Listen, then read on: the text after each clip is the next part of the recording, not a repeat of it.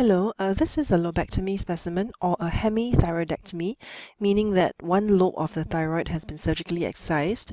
And uh, when we have a thyroid specimen in front of us, the first thing that we want to decide on is whether the pathology that we see is a diffuse or a localized or discrete one.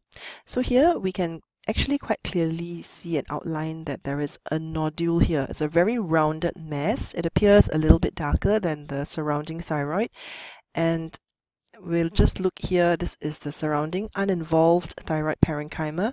Similarly, over at the other end, we also see some uninvolved thyroid. Now, what is very clear is that we can see this whitish fibrous capsule that appears to be surrounding the entire nodule.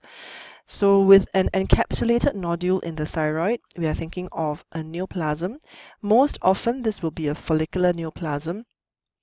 Occasionally, this can be a minimally invasive follicular carcinoma as well. Let's just take a minute to contrast and to compare this with a more diffuse uh, pathology that involves the entire thyroid gland. This is an example of Graves' disease that has been also described uh, on this page. Uh, as opposed to a discrete solitary thyroid nodule, which is due to a thyroid neoplasm. So we can see that they're quite obviously different in gross appearance.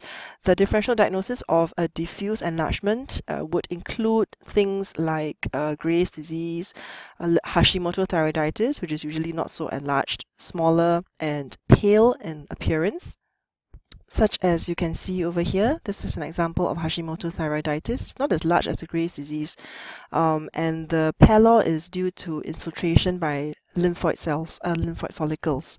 Another cause of diffuse enlargement would be a simple hyperplastic goiter, uh, as well as occasionally thyroiditis like de Quervain's thyroiditis, but those cases would be very rarely excised. Now, in contrast, uh, when there is a solitary nodule, usually the differential diagnosis includes neoplasms, which range from benign to malignant. Now, how different would a malignant neoplasm look?